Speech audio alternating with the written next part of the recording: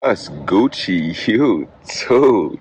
It's Pap Brady, you dig, live and direct from outside. This is the first time I ever shot a video outside, you dig what I'm saying? But I am live and direct. I know y'all haven't seen me in a minute, you dig what I'm saying? But if you haven't already, smash that subscribe button to Marvelous Bluntz, man. June, we back reviews, gaming, everything. Pap Brady is back. You dig what I'm saying? Appreciate everybody rocking and rolling with us, man, and run some of the content up. You dig what I'm saying? Without further ado, man, this weekend the gang linked up to go see Spider-Man across the Spider-Verse. You dig what I'm saying? I forgot to do the blog because I was smack.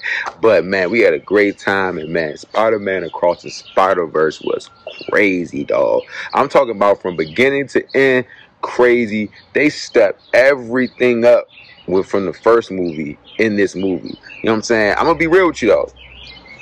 I do not think that this the second one was better than the first one. I, am gonna be real with you. The first one was just something totally different that I never seen before.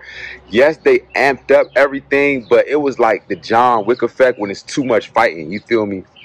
it was too many cameos for me. You did. It was too many cameos in this joint. I mean, it wasn't that big of an issue where it just like destroyed the movies with the cameos, but I, will get I, will get into that. You know what I'm saying? We ain't gonna get into the bad. We're gonna we gonna get right into the, this great movie, man. Spider Man across the Spider Verse. You dig what I'm saying? When I say Sony finally put in their work, they put in their work. You dig what I'm saying? Like this movie was basically Miles coming into who he is as a teenager. Like this told a lot of stories, not only as a black being a black kid, growing up being a teenager, just being a teenager. Like Miles had to make a lot of.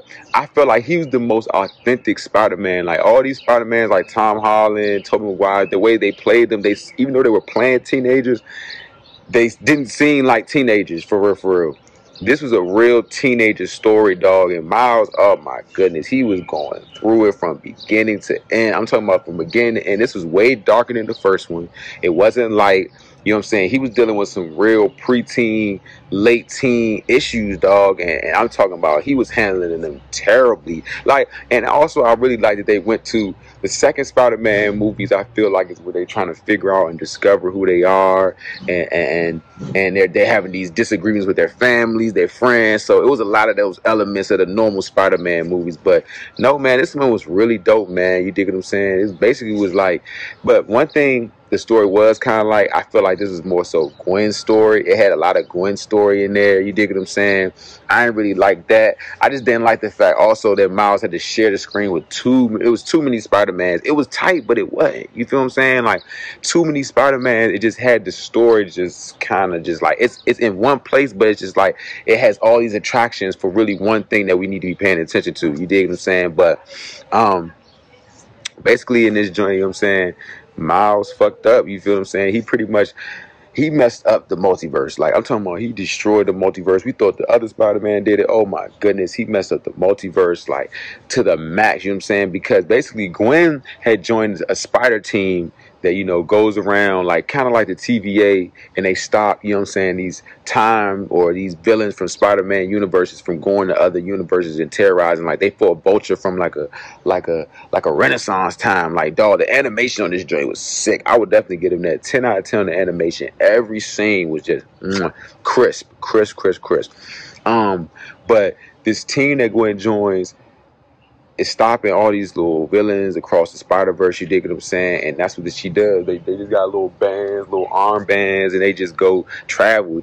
And she got Miles involved with what kind of what they were doing, and it messed up everything. Because Miles, I'm not gonna do a spoiler. This is kind of a spoiler but review, but not really. I want y'all to see it.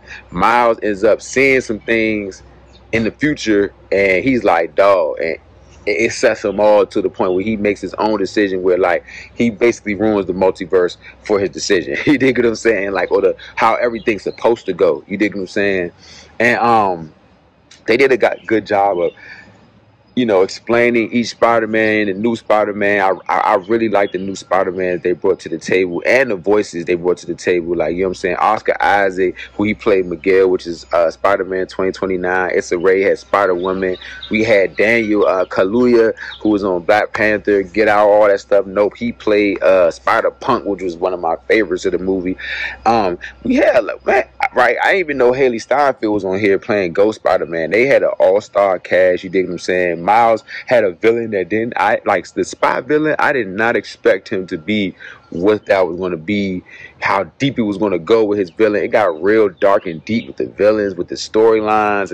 You know what I'm saying? Like this, this was really like a like the really like the history of Spider-Man in this movie. You know what I'm saying? Um, and that's okay. That's good. They had Lego Spider-Man. They had video game Spider-Man. They had all types of Spider-Man. It was it was it was a great feeling as a Spider-Man fan.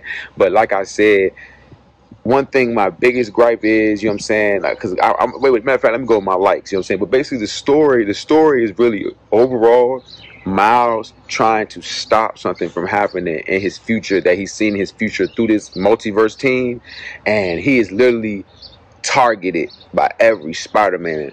He's being targeted by his family because he had a point with his family where he it, it's this friction of him trying to be Spider-Man and then him being a teenager, he messing up in school. It's the average Peter Parker Spider-Man story, man. So um, I definitely didn't give out a lot of details, but I'm gonna tell you this: it's a great movie. So please go see it, man. Please go see Across the Spider-Verse as soon as y'all can. It, it's like that. You feel me? I'm, I'm not gonna lie, it's like that. My biggest likes, I like the villains in these joints, you know what I'm saying? Even though I feel like it should have been more villains, but Vulture's villain was tight, you dig what I'm saying? Like how it looked, like the different animations. It should have been way more villains though, now I think about it. That's a dislike of mine. Um, I really like the Spider-Man team as a Spider-Man being my number one superhero. Just seeing all these different variations of Spider-Man definitely turned everything up. Had you like, oh, a lot of fan service. The intro was tough. I think it was a good little intro. It was like a 20 minute intro of one story, even though I didn't like certain aspects of the fact that I feel like we need to be focusing more on Miles, the whole movie. You know what I'm saying? But I, really did like the intro. It was fire. It was different. They had a spoiler alert. They had a Venom crossover. They had a Lego crossover. Ah! Oh my goodness. They had Danny Glover from the MCU Spider-Man as the Prowler. Oh, it's oh, oh my goodness. The, the the the the amount of fan service carried this movie as well as the animation for me. You feel me? Um, the Spider-Verse was crazy. The, the, the, the big spider chase scene when they were trying to get Miles was crazy. That was like half of the movie. Man, this was some good cinema. Like I left like cinema. you dig what I'm saying? But I'm gonna be real with you. I had some dislikes, man. Um, one thing that was just like I felt like the movie was too long. It was too long. It was too much. Like they could have chopped this movie up way more. I know it's two parts to this, but I really didn't like the length of this movie. Like they could have did way less. It was some real boring and dry parts to the movie that I ain't rock with. You feel me? Um, I think it should have been more fitted to IMAX. I feel like it wasn't fitted to IMAX. They actually even said that on the screen, like it wasn't for IMAX. So I really didn't like the IMAX version. I feel like I, I should have saw it in Dolby so I can get that. But you know, the IMAX was cool, but it could have been way better with the sound. You do I'm saying? It's very low sound. Um, also. as y'all see, I'm back with glasses. I had to take a break. My phone got too hot. but um, man, like I said, I just didn't like how long the movie was. Pause, and I just didn't like um, there was too many Spider Man. I feel like Miles' story was just getting pulled everywhere, and like it was on Miles, but it really wasn't on Miles. It was just it was a lot of that Marvel cameo type style. I I wasn't really rocking with that. Um, and I don't know, it just what it, it, connected like it was a great movie, but it didn't connect like the first one did. I just it just the feeling the first one gave me is a different feeling than this one. Hey, it is what it is. I am excited to see part two. I do suggest y'all do go see Across the Spider Verse. This movie was lit. It definitely was turned up. You know what I'm saying? I had my little gripes, but they wasn't gripes that made me just say don't go see the movie. No, go see that. I definitely give it. I definitely give it a 9.5 out of 10 super is up, man, for Across the Spider Verse and in the Spider Verse 2. They did that, man. Sony, Sony said sugar spice and everything nice. And the thing is, it was actually stuck to the Sony, the dark formula. And, and in some scenes, like with Gwen and her father, whatever, you can see the animation of the, the background, like it was like a painting just changing colors. Like, man, they animation wise, they put the budget in this joint. You know what I'm saying? But what did y'all think of Spider-Man Across the Spider-Verse? Let me know in the comments below. Smash that subscribe button and marvelous Bluntz. You dig what I'm saying? Appreciate everybody for rocking, man, with rocking with me. Got a lot of stuff coming this week, so definitely stay tuned. It's Pap Brady, man. I'm out.